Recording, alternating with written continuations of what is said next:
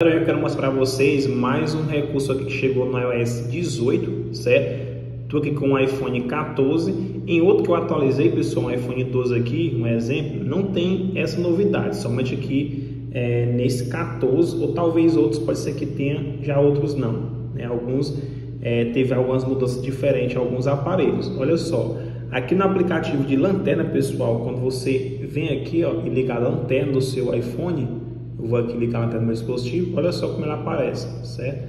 Onde você consegue, pessoal, ó, através da barrazinha que você consegue estar tá mexendo nela, aumentando, certo?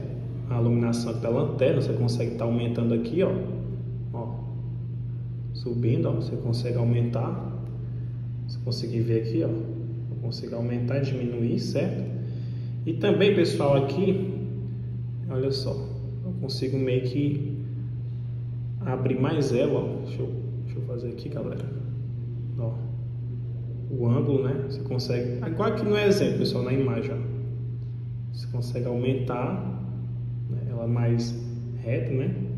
Não vou conseguir mostrar para vocês aqui, ó, mas você consegue aumentar o ângulo dela.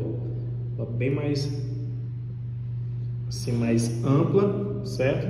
E uma das novidades, pessoal, chegou aqui no iOS 18 eu queria estar mostrando para vocês como é que é agora a lanterna aqui no aplicativo. Eu estou testando aqui um outro aparelho, também atualizei para o iOS 18, só que não tem, não está dessa forma, certo? Já em alguns aparelhos está nesse estilo aqui. Espero que tenham gostado. Até uma próxima. Tchau, tchau.